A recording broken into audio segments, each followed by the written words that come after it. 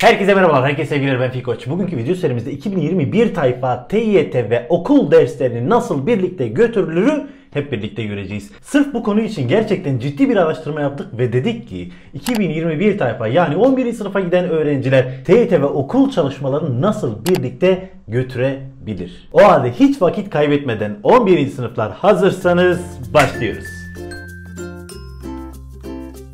11. sınıfa giden bir öğrencinin zaman dilimini 3 grupta topladık. Okul zamanı, okuldan sonraki zaman ve hafta sonu zaman dilimleri olarak. Eğer bu 3 zaman dilimini iyi bir şekilde analiz edebilirsek gerçekten de en verimli saat dilimlerimizde hangi dersleri çalışmamız gerektiğini de iyi bir şekilde tespit etmiş oluruz. Biz bunları sizler için analiz ettik ve dedik ki okul zaman diliminde dersi derste çok iyi bir şekilde dinlemen gerekiyor. Ve bunun yanında vaktin kaldıkça prograf çözeceksin. Hatırlayanlar bilir daha önceki videolarımızda prografa problem ve paragraf çözümü demiştik. Hem problem hem paragraf. Ama Fikoş tamam okul zamanında paragraf çözebilirim ama problemler çözebilecek kadar yeterli beceriye sahip değilim. Diyorsan bu çalışmanın yerine yapman gereken şey o gün o derste hocanın anlatmış olduklarıyla ilgili kısacık notlar tutman. Hatta şunu da söyleyeyim paragraf çözümünde yeterince iyiyim de diyorsan bunların tamamını ufak not kağıtlarına çalışarak da geçirebilirsin. Bu çok önemli. Okul zaman diliminde ufak özet notlar çıkarmanız gerçekten de size büyük avantaj katacaktır. Peki neden okul derslerine yeterince önem verelim ki diyen öğrenci grupları da var. Kesinlikle şunu söyleyelim 11. sınıf dersleri özellikle TYT, AYT dersleri çok çok çok önemli. YKS temelini oluşturabilmeniz açısından hele de AYT temelini oluşturabilmeniz açısından kilit bir sınıf seviyesidir. O yüzden bu dersler işimize yaramıyor. Nasıl olsa seneye tekrar göreceğiz diyerek bunu asla heba etmeyin. Hele de sayısalcılar için fizik dersi ve matematik dersi, eşit ve sözel bölümleri için yine matematik dersi ve edebiyat dersi dehşet derecede etkilidir, önemlidir. Maalesef okulda dersleri dinleyen öğrencilerin yanında aynı zamanda bu dersleri dinlemeyen bizim uyuyan tayfa dediğimiz öğrenci grupları da olabilir. Lütfen ama lütfen bu eziyeti kendinize etmeyin. Uyuma safhasını okuldan sonra ya da okuldan önce gece yarıları gerçekleştirmeniz için faydanıza olacaktır. Uyuyan tayfa seneye de bu tayfa içerisinde yer almak istemiyorsan şimdiden uyanık olman gerekir. 11. sınıf derslerine giren birçok öğretmenden aldığımız dönütler bu yönde maalesef ama maalesef 11. sınıfta uyuyan tayfa bu hareketlerine devam ediyor. O yüzden ben derim ki hala geç değilken kendi iyiliğin için uyanmaya başlayabilirsin. Okul safhası buraya kadardı. Şimdi gelelim okuldan sonraki duruma. Dersleri bitti. Okuldan geldin. Okuldan eve döndükten sonra yapman gereken bir şey var. Dinlenmek. Hocam ben dinlemeden direkt ders çalışmaya başlıyorum diyen öğrenci grupları da olabilir. Bu olabilir. Bakın bu olabilir diyorum. Bu zararlı bir şeydir demiyorum. Eğer bu konuda kendine takat bulabiliyorsan benim sana tavsiyem okuldan geldikten sonra dinlenme aşamasından önce ders çalışma isteğin varsa okulun genel ders tekrarını yapman en büyük avantajıdır. Bu gerçekten anında dönüt dediğimiz unsurun ta kendisidir. Çok çok verimli bir taktiktir. Ha dedim ya birçok öğrenci bu konuda zorluk çeker. O yüzden eğer çalışabiliyorsan çalış, çalışamıyorsan da yapman gereken şey dinlenmektir. Dinlenme aşamasını gerçekleştirdikten sonra bir en az 15 tane paragraf sorusu çöz. 15 paragraf sorusundan sonra yine tekrardan dinlenme aşaması ve bu aşamada akşam yemeğini de aradan çıkarmanı tavsiye ederim. Zaten bu videoda size anlatmış olduğum bu programın taslağını PDF haline getirdim. Bu videonun açıklamalar kısmında bu programın PDF'ini indirebilirsiniz. Onu bir indirin. İstediğiniz boşlukları doldurun. İşinize yarayacaktır. Hiç değilse size bir örnek taslak teşkil edecektir. Haftalık ders çalışma plan ve programlarınızı buna paralel olarak hazırlayabilirsiniz. Dinledin akşam yemeğini de yedin. Bundan sonra size tavsiye ettiğim bir şey var. Her gün rutin bir şekilde bunu gerçekleştirin. Okulda görmüş olduğunuz derslerin genel tekrarını gerçekleştirmeniz. Hani size demiştim ya ufak özet notlar çıkarın diye işte onları tekrar edebilirsin. Bunun yanında hocaların derste yazdırmış olduğu sorular varsa o soruların aynısını çözmeniz ya da notlar varsa o notları hızlıca bir üstten geçip genel tekrarını yapmanız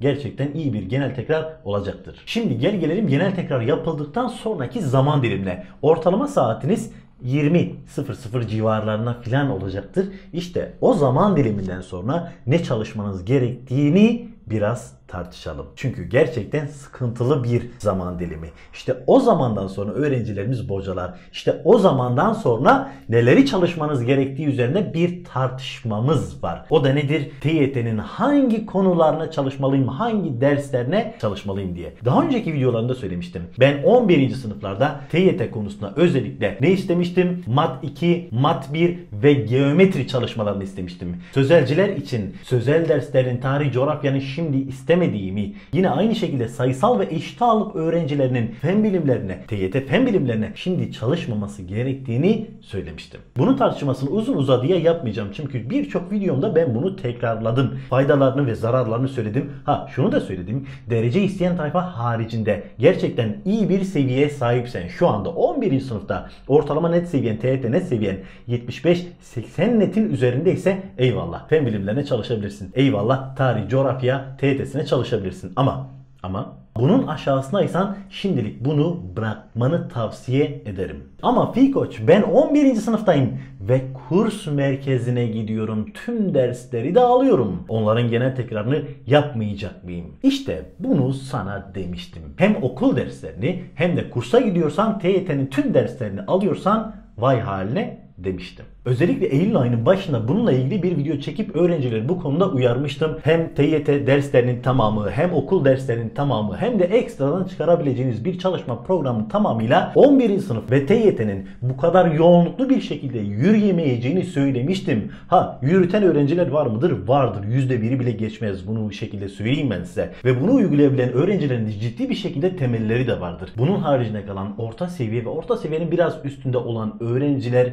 üstadım bunu gerçekleştirmeniz sizi baya baya hırpalar. Bu süreçte ciddi bakımdan iyi bir koçluğa ihtiyacınız var. Sizin ciddi bakımdan iyi bir motivasyona ihtiyacınız var. Hatta şunu da söyleyeyim. Geçen haftalarda benden öğrenci koçluğu isteyen bir aile vardı. Kendileriyle görüştüm. Öğrenci 11. sınıf öğrenci ve aynı zamanda Anadolu Lisesi'ne giden bir öğrenci. Ama hem kurs merkezine hem özel derse hem de özel okula giden bir öğrenci. Maalesef bu öğrencinin programı yığınla doldurulmuş.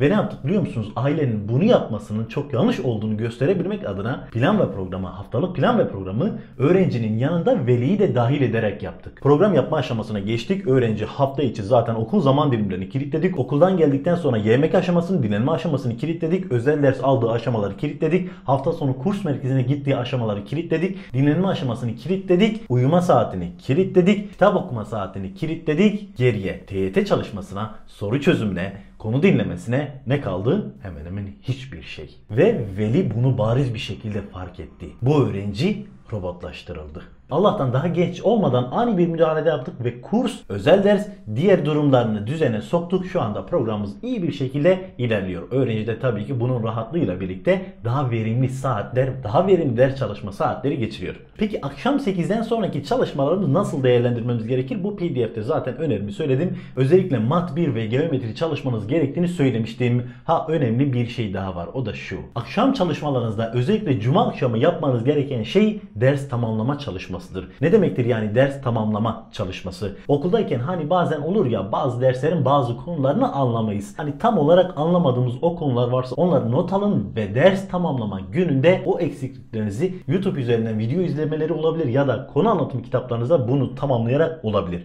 Ama bu ders tamamlama, konu tamamlama işleminizi kesinlikle gerçekleştirin. Cuma akşamları. Okuldan sonraki çalışma dilimimiz bitti. Sıra geldik okuldan sonraki hafta sonu çalışmalarına. Bir kere şunu söyleyelim. Haftada bir yarım gününüz mutlaka ama mutlaka tatil olsun. Ha bazılarınız bir gün boyunca tatil yapmak istiyor. O da olabilir ama hangi şartla diğerlerini gerçekten çok verimli bir şekilde geçirme ve uygulamış olduğunuz programı çok iyi bir şekilde eksiksiz bir şekilde yerine getirdikten sonra olabilir mi? Olabilir. Ama hani hala eksikliklerin varsa, hala programı uygulama konusunda problemlerin varsa haftada yarım gün tatil yapmanı öneririm. Cumartesi pazar günü sabah 8'den öğlen 2-3'e kadar ben derim ki bu zaman zaman diliminde video konu anlatımları dinleyin. Ya da ne bileyim özel ders falan alan varsa bu zaman diliminde bu ders anlatımlarına yoğunlaşabilir. Ama bu zaman dilimlerinde konu çalışması yapıyorsun. Özellikle evde ders çalışan öğrenciler YouTube'dan konu anlatım videoları dinlesinler, izlesinler. Bunun için elinizde bir konu listesi olsun. 11. sınıfta okulda görmüş olduğunuz derslerin konu listesi. TYT'de geometri, matematik yani mat 1 konu listesi olsun. Bunları gerçekleştirin ve adım adım gerçekleştirin. Kendi video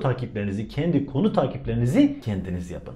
Özellikle cumartesi akşamları yapmanızı istediğim bir şey daha var. O da haftalık genel tekrar. Peki neyden haftalık genel tekrar? İki şeyden. Okul derslerinin haftalık genel tekrarı. Bu bittikten sonra TYT'nin genel ders tekrarı. Haftalık genel tekrar nasıl yapılması gerektiğini bir video ile açıklamıştım. Linkini buraya bırakıyorum. Eğer haftalık genel tekrar nasıl yapılacağını hala bilmiyorsan lütfen bu videoyu izle. Ve beğeni de atarsan sevinirim. Eyvallah.